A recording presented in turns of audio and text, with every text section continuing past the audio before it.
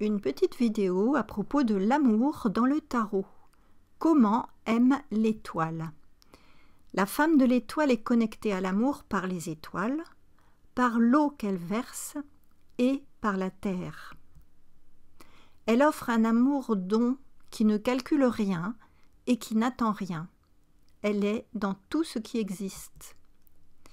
Pour aimer comme la femme de l'étoile, donnons sans calcul et sans attente, en étant authentique.